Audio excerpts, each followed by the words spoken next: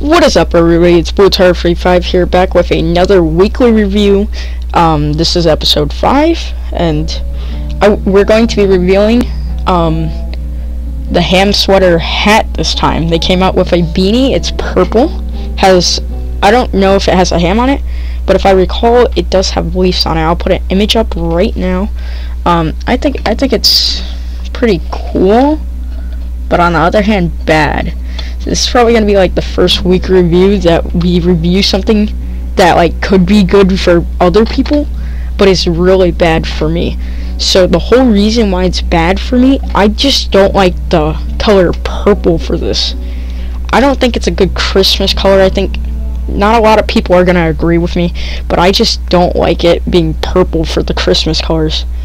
I like I just feel that green or green and red would have been just way better. It's like Christmas colors.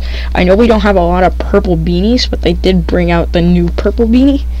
So I think we didn't really need this. But I, I know there's a lot of people out there that love the color purple. Honestly, I just don't I don't like it in this concept.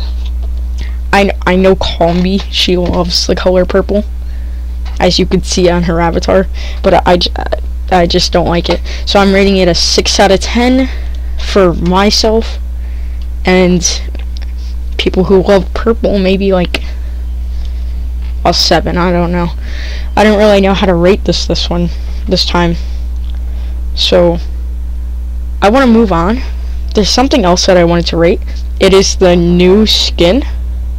It is a, um, it's not a weekly but it's inside the shop right now, and I don't know if it's like temporarily or anything.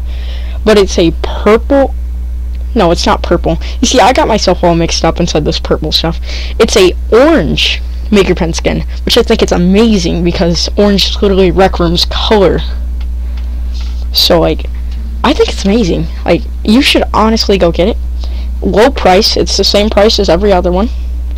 So I'm not sure about that. I don't know if every Maker Pen skin is 600 or 900.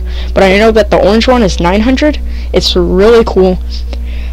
Um, I don't have enough tokens for it, but if you do, then you should go get it. I'm rating it an 8 out of 10. It's amazing. You should go get it.